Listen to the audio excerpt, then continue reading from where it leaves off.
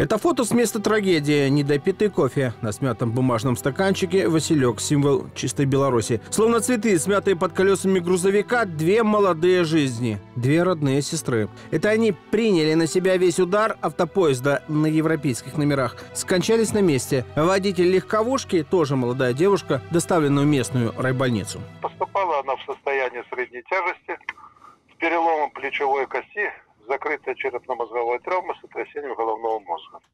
То есть дальше она по месту жительства будет лечить в Бресте. Вечер, оживленная трасса, ДТП. Следователи и эксперты выяснят все детали смертельной аварии. Сразу несколько экспертиз. Автотехническая, трассологическая. Но уже и так картина восстановлена. Возбуждено уголовное дело. По данным следствия, вечером 30 декабря 22-летний гражданин Республики Польша, управляя автопоездом, э, двигался по трассе Брест-Минск, граница Российской Федерации.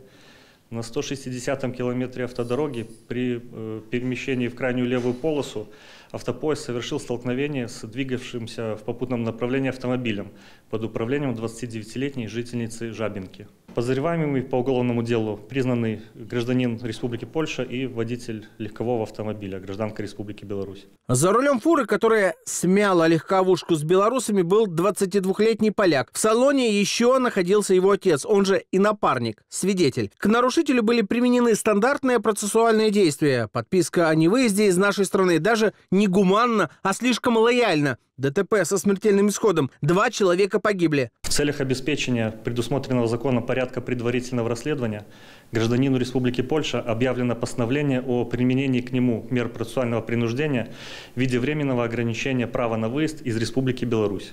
Несмотря на это, пытаясь скрыться от органа уголовного преследования, он предпринял попытку выехать из территории Беларуси на территорию Республики Польша. Сотрудники генконсульства Польши в Бресте, того самого, которое пропагандировало подвиги отверженных солдат, взяли в оборот и своих граждан, призывая убежать их от ответственности. Вот фрагмент из разговора заботливого начальника по делам сотрудничества с Полонией Ольги Касперчик с начальником визового отдела этого же депредставительства Агнешкой Марчик. Nie, nie wiemy, prawda? Nie odzywał się i nie tego przecież jak. Nie, no, No. dokładnie. Ну вот я и думаю над тем, чтобы просто-напросто позвонить и сказать, что в случае, если у них есть разрешение на выезд домой, тогда пусть они едут. Что уже одного, сама знаешь, героя, который остался здесь, у нас уже есть, и он будет сидеть два года. Героем пани из консульства считает своего же соотечественника, который в канун Нового года был осужден за подобное ДТП на этом же участке дороги. Раньше паны гоняли в бричках, запряженных холопами, а сейчас потомки шлихлюков гоняют по нашим трассам и давят белорусов. Что им до наших законов? И до совести тоже дела нет. А такие дипломатесы, как Ольга Касперчик, умеют избавлять от душевных мук. No, no nie wiadomo, no.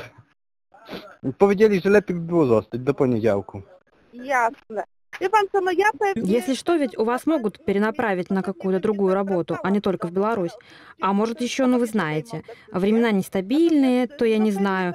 Но если есть возможность вернуться домой, то может, может стоит это рассмотреть, чем просто не возвращаться. Хорошо? do śledczego już, żeby się rozpytać co i jak, nie? No tak, tak, tak. Потом были еще звонки и работодателю, водителю фуры. Цезарь Апанский, он руководит польской транспортной компанией. Dobrze, a proszę mi powiedzieć, kierowcy obecnie gdzie przebywają? W areszcie, czy... Nie, nie w areszcie. Нет, они не арестованы, они находятся в этом автомобиле. Но они могут уехать, могут выехать из Беларуси.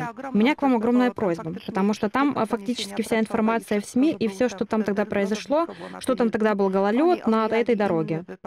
Звонила из этой машины с красными номерами. Дипломатия по-польски. Но сбудские не латушка, поэтому их отправили автобусом. На вокзал подвезли. Билет пришлось покупать в спешном порядке. Дежурный кто кто? Э, девушка, добрый день. У меня к вам такой вопрос. Подскажите, пожалуйста, за сколько можно до отправления автобуса вот до Варшавы купить билет самое позднее? Или это не важно? За 15 минут, лишь бы были билеты в наличии. Все, я поняла. То есть это не имеет значения. Поняла. Спасибо вам большое. До свидания. То, что у польских дипломатов есть навыки шпионской школы, это почему-то не удивляет. Вопрос в другом. Почему они так легко относятся к гибели людей другой национальности? Или они в своем посполитом сознании так и остались панами, а мы для них холопы? Стоп, а европейский гуманизм? Как же? Гражданин Польши 1999 года рождения вместе со своим отцом вечером 3 января въехал в пункт пропуска Брест на рейсовом автобусе с сообщением Санкт-Петербург-Варшава. мужчины намеревались покинуть страну. При проведении пограничного контроля было установлено, что молодому человеку ограничен выезд из Беларуси. Сам иностранец заявил, что якобы не знает о причине этого запрета. Однако позднее выяснилось, что он является подозреваемым по уголовному делу по факту ДТП со смертельным исходом. Также молодой человек рассказал, что с выездом в Польшу ему помогали сотрудники польского консульства в Беларуси. Иностранный гражданин передан сотрудникам Следственного комитета для дальнейшего разбирательства, а отец задержанного отказался от пересечения границы и был возвращен в Беларусь. Убежать не удалось, уйти от ответственности тоже не получится. Дорога, сложные погодные условия. К сожалению, люди гибнут. И наши водители тоже порой становятся виновниками аварий в других странах. Но подопечные из ведомств Макея не советуют им бежать из страны и не помогают нарушителям уйти от наказания. И не смеются с чужого горя. Jasne, dobrze, to ja już odkładam słuchawkę, bo oni mają 150 km do granicy, a ważne, żeby jak najszybciej się na niej znaleźli. А те, кто все еще подшучивает над исповедью Эмилия Чечка, посмотрите на эти могилы наших белорусок. Неужели дух березы Картузской никогда не выветрится из амбициозных голов польских дипломатов? Их мораль уже давно утонула в навязчивой идее Междуморья. Евгений Пустовой, СТВ.